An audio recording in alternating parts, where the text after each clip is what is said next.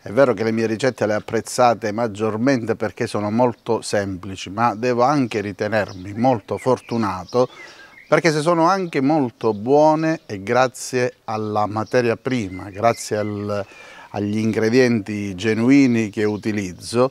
E proprio per questo oggi voglio farvi vedere uno dei miei orti che è quello alla quale sono più affezionato perché? Semplicemente perché è a portata di mano, è vicinissimo a casa quindi basta sporgermi a, centimetro zero e dove da lì vado ad attingere di tutte le, le cose che mi servono quotidianamente per, eh, per cucinare. Eh, in questo appezzamento abbiamo messo un po' di tutto proprio per avere tutto a portata di mano, poi le altre cose le abbiamo negli altri, negli altri campi e oggi semplicemente voglio condividere con voi anche questo. Venite con me.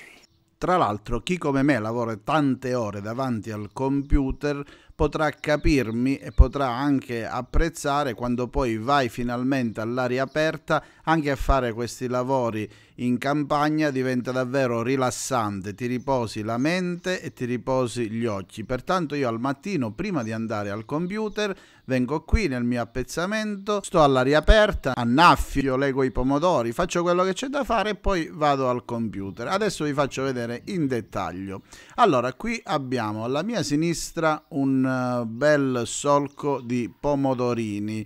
Sono pomodorini di tipo datterino e serviranno abbondantemente per la caprese, per il sugo, da mangiare così come le ciliegie. L'uno tira l'altro, sono davvero spettacolari. Guardate qui, ce ne sono tantissimi, ancora sono verdi, ma non tarderanno molto a maturare.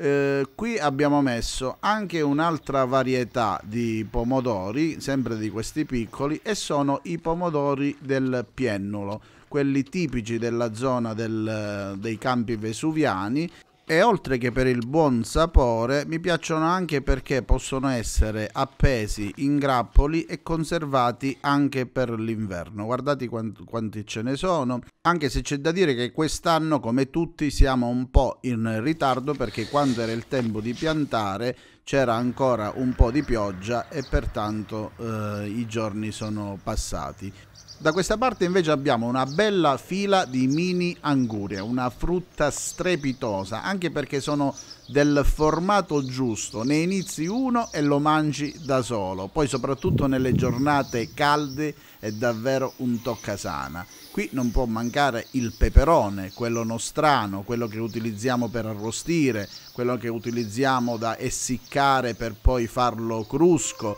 oppure farlo in polvere per eh, per i salumi e anche per la cucina. E queste come vi dicevo sono già i pomodori già abbiamo messo i pali sono già stati legati eh, la schiena fa male ragazzi però il sacrificio poi viene ripagato. Qui c'è una bellissima pianta di pesca e sotto ci sono dei, delle piantine di peperoncino. Sempre a portata di mano in ogni angolo del terreno.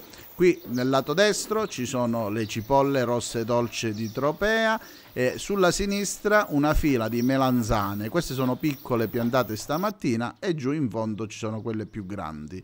Il limone su una bella eh, fetta di carne o su una frittura o per un bel liquore di limoncello c'è sempre tutto quello che vedete qui ovviamente non è trattato.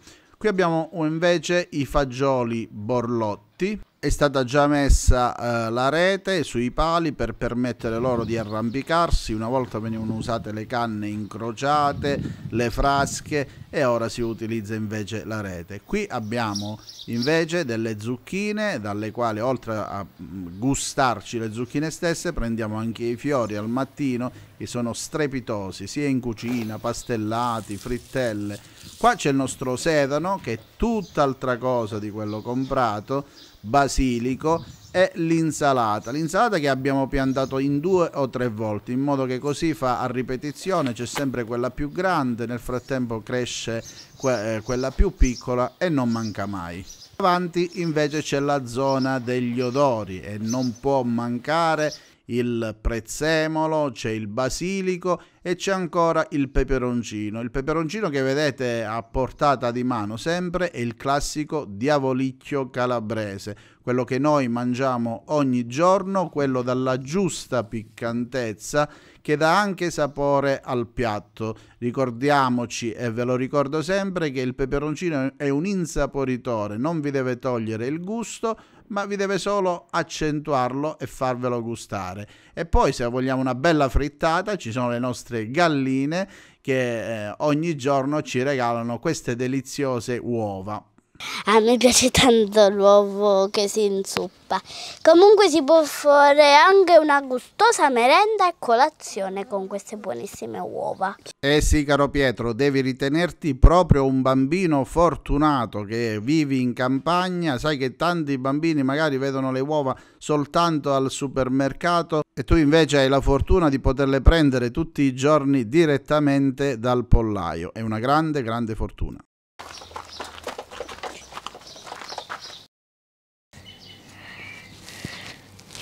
这是。死